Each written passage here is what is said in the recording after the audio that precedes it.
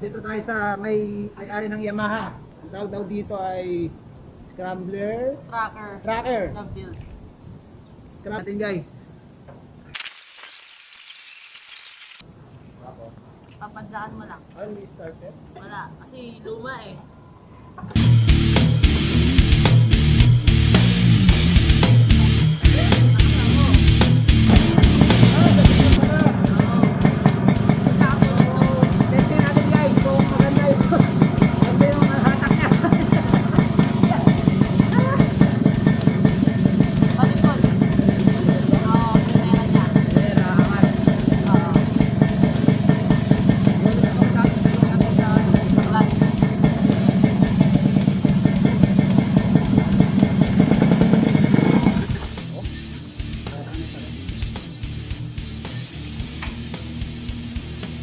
Nilagyan mo ng pool. Wala. Hindi ba nagko-convert ka?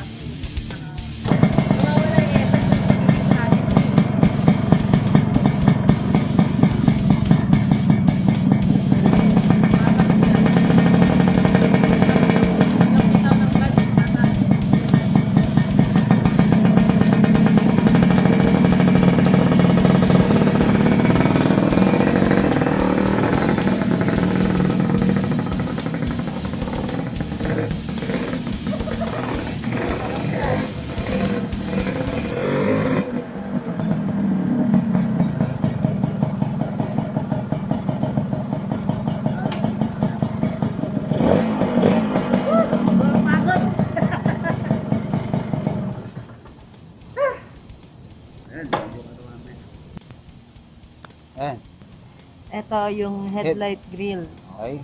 Ah, may nabibili sa Shopee niyan, ma siguro nasa around 2 to 300 pesos. Pero Mm. kasi mas desired ko yung magpagawa ng sarili Mm. kasi nga own concept na din para ano, unique. Then Tapos ito, yung kanina binabanggit nyo ma'am. ah ito yung gumawa, shoutout, Temis Workshop. Oo, Temis Check Workshop. nyo, yung mga build nila. Shoutout daw. ganda. Yan. Kaso ito sa akin, unfinished project pa kasi hindi pa siya tapos. Gusto ko lang isabak muna sa trail. Maraming, ano, sa riding community. Shoutout sa tusawa nagtuturo dyan kung paano yung tamang handling at saka mga dapat Paano to? upgrades. Tambucho mo ma'am. Ah, itong tune pipe ko, RCM pipes, ah, dinayo ko pa siya sa Baliwag, Bulacan. Ah, nagasgas kasi siya dahil yung kick ko dati stock. So hindi siya nakabend kaya gumasgas. Pero okay lang. Ano naman, ah, buffing lang daw para matanggal yung rust and then top coat ulit. Okay. Siya. So, dito, Yamaha RS, ah, 25 years old. Isa siya sa pinaka maraming nabentang unit Oh, dito sa Pilipinas. 3 ba yan? 3 ba yan ah? Actually, nasa 2 to 3 million yung nabentang unit sa Yamaha RS. So, siya yung top selling from 90s to 2000. Kasi ito yung pinaka-affordable na bike ng mga panahon na yan. Hmm, okay. two-stroke engine, so 2T power. Ito, ah, pinabuhay ko lang siya. Dati meron siyang side cover dito. Ah, ito, yung side cover ko rin pala, pina-customize ko.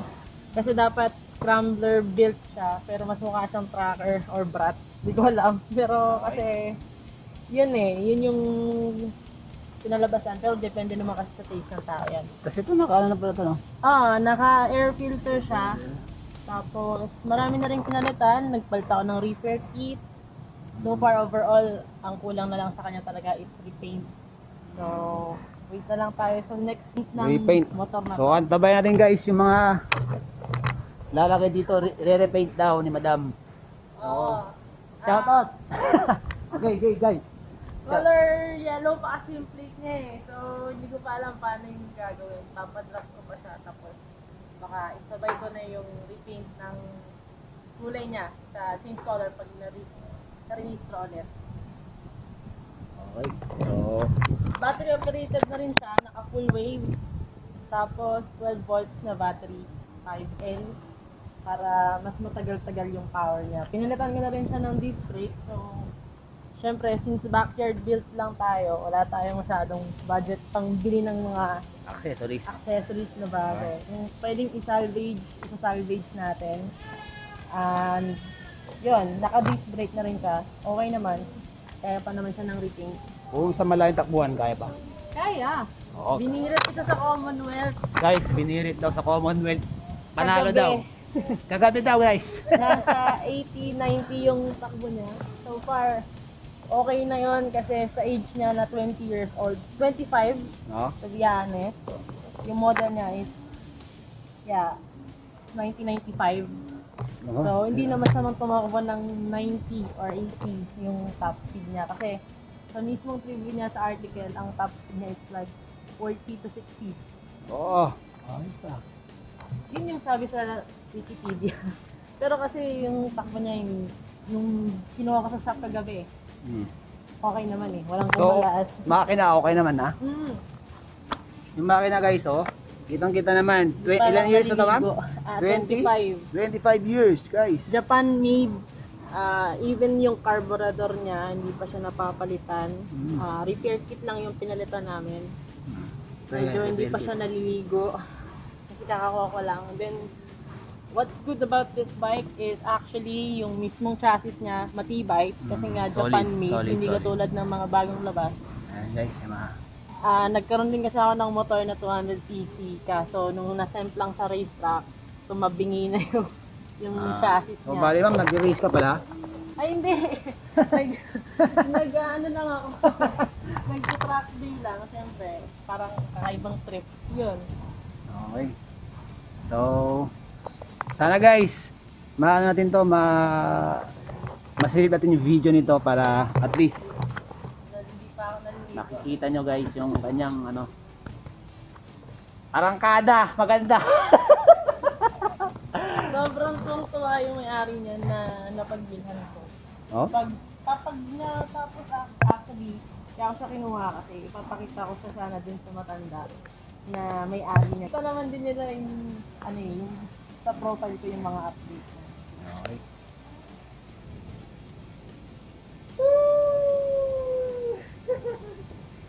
Thank you, ma'am. Salamat, salamat. Salamat po. Okay, ma'am. Follow din natin yung kanyang ano, ah, channel. Pa-plug na lang. Thank you, thank you. And God bless. Thank you.